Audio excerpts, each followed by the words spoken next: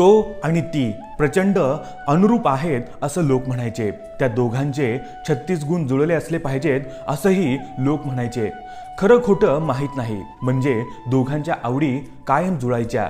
अमुक एक नाटक चांगलं आहे तिनं म्हटलं की संध्याकाळी तो त्याच नाटकाची तिकीट घेऊन तो घरी लवकर हजर.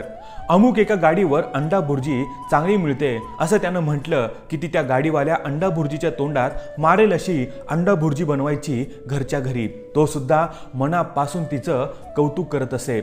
अजिबात काटकसर न करता ती संध्याकाळचा चहा तो येईपर्यंत घ्यायची नाही. तो आला की चहा करायचा आणि दोघे मग पेपर वाचत वाचत एकदम घ्यायचे. त्याचा चहा मस्त जमायचा. असं ती म्हणायची. दोघांचं अफलातून ट्युनिंग होतं. कॉलनीमध्ये जर आदर्श जोडप्यावर मतदान झालं असतं तर हे जोडपं खोऱ्याने मतं ओढून आदर्श जोडपं म्हणून निवडून आलं असतं.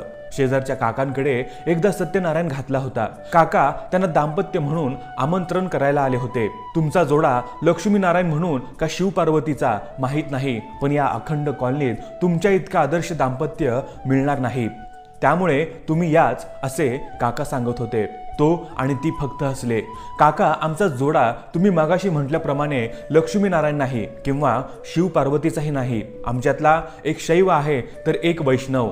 द्या टाळी. काकांनी टाळी द्यायच्या आधीच ती त्याला टाळी देऊन मोकळी झाली.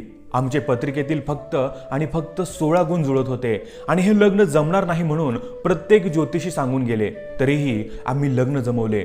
गंमत अशी आहे की हिची दृष्टी थोडी अधू आहे आणि मला ऐकायला थोडं कमी येतं. एव्हाना काकांना त्याच्या कानामागे लपलेलं श्रवण यंत्र दिसलं. आम्ही एकमेकांना सांभाळून घेतो. शक्यतो एकत्र जातो. एकाचा न्यूनगंड दुसऱ्याने झाकला जातो. आम्ही सत्यनारायणाला दाम्पत्य म्हणून अवश्य येणार. दोघेही बरोबर उठले. तो तिला गॅसची शेगडी पेटून द्यायला आणि ती चहासाठी आदन ठेवायला अगदी जोडीने सत्यनारायणाच्या पूजेच्या दाम्पत्यासारखे.